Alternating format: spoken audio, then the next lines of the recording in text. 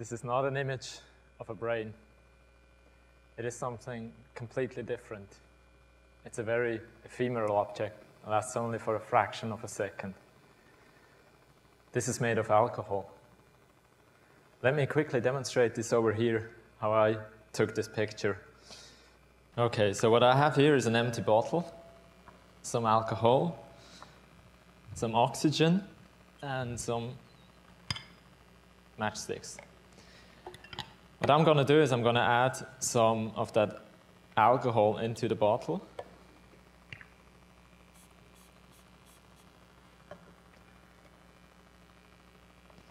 And now add some oxygen to it.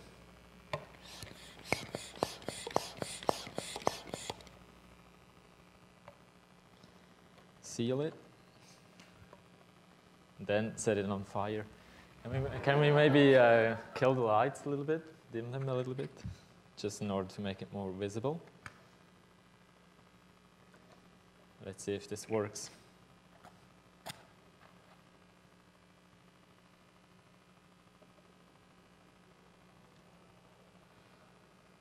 Now that was very quiet and, and maybe some of the back rows didn't really see it, so let me show you a small video that I did back home at my studio. What happens is that when you spray the alcohol into the bottle, since it's a very volatile substance, it start, the molecule starts spreading inside the bottle.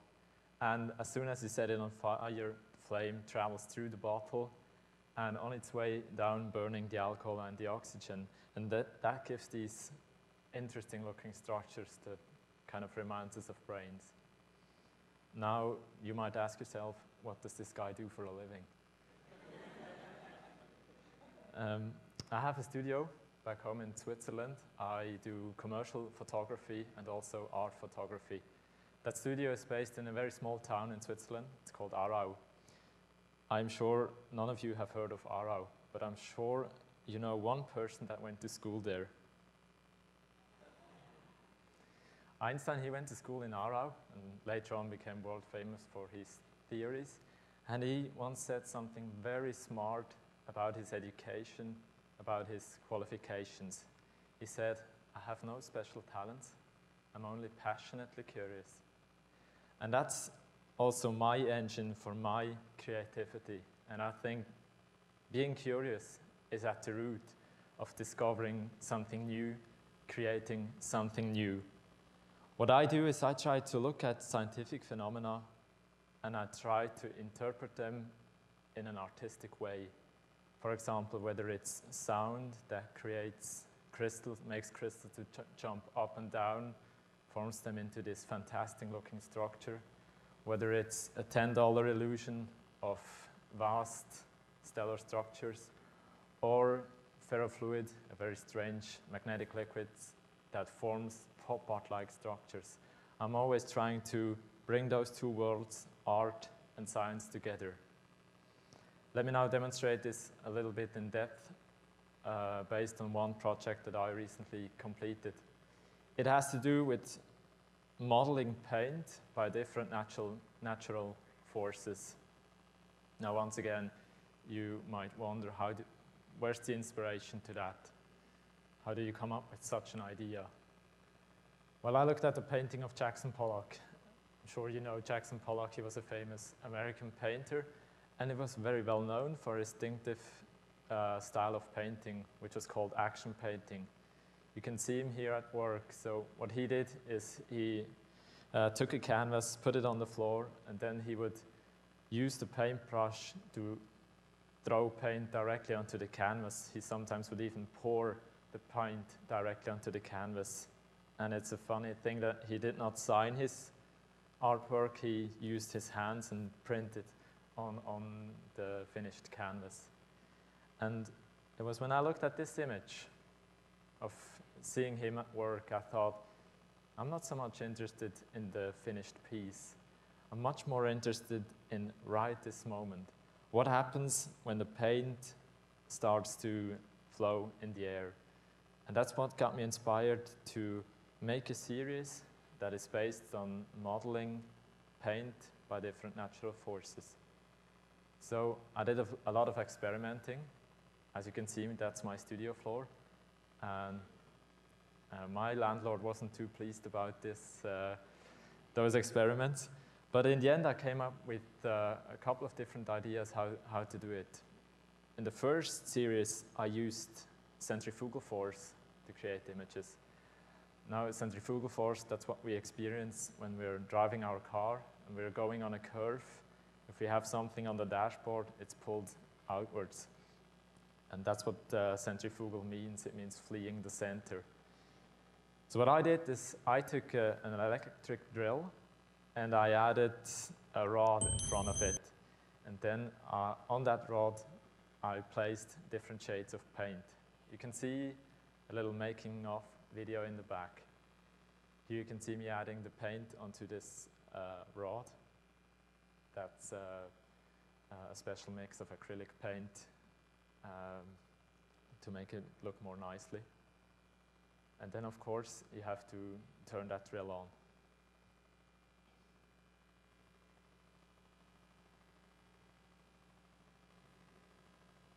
And as you can see, this happens in a blink of an eye, and the paint is gone.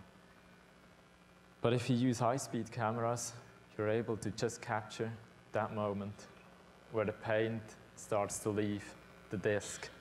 And you have these fantastic structures appearing, and they all look differently depending on uh, the exact moment where you photograph it.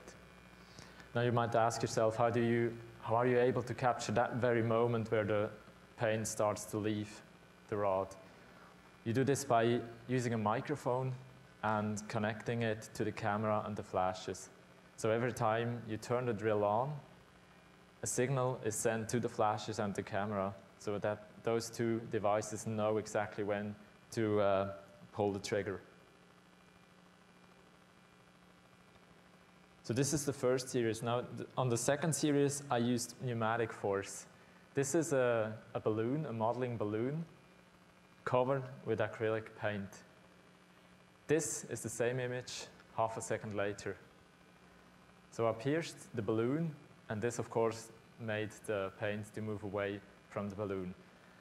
And what I find so fascinating about photography is that it enables you to capture a moment and holding on to it forever.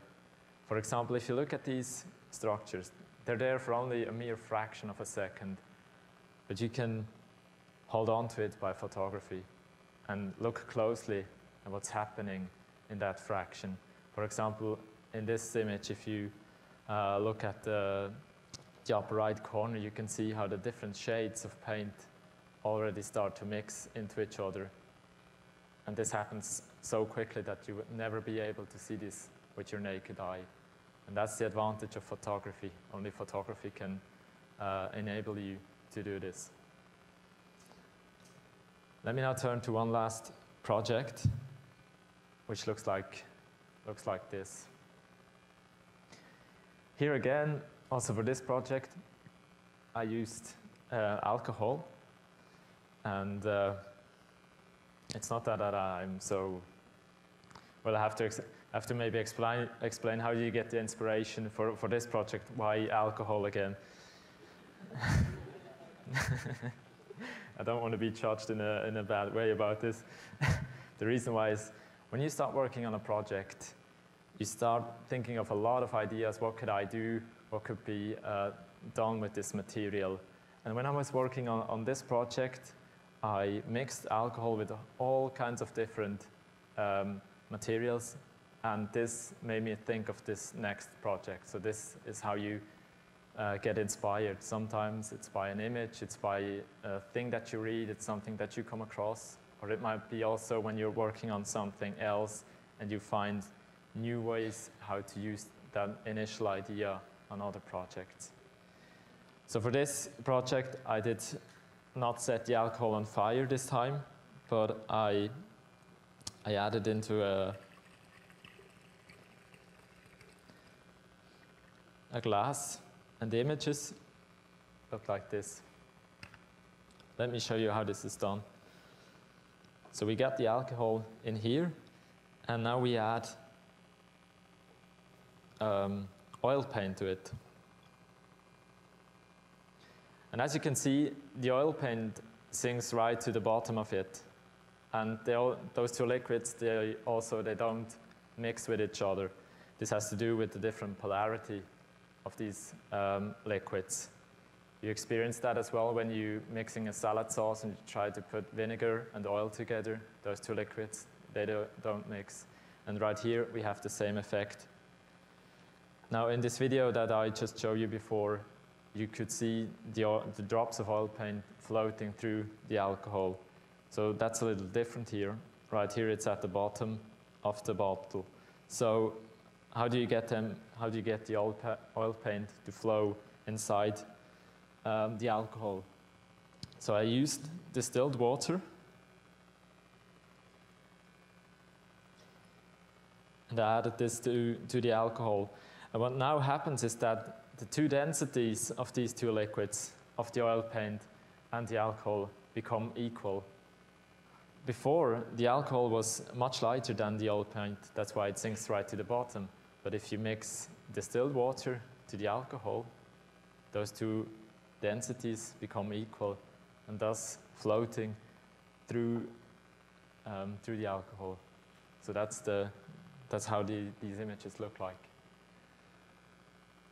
Now I've showed you these couple of projects that I recently completed and you might wonder, well, what's it good for? Um, that's always a good question when it comes to art. What's it good for? The reason why I'm creating those images is that I see them as, so, as a kind of an inspiration or an invitation for people to look at them and think about all the beauty that is constantly surrounding us.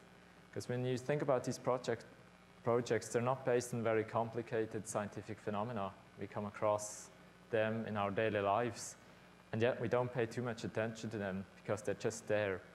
So my aim is with those images to make everybody a little bit more curious and inspire everybody to look at the world around them and all the magic that is constantly around us. And hopefully I was able to do this with those few projects that I just showed you. Thank you.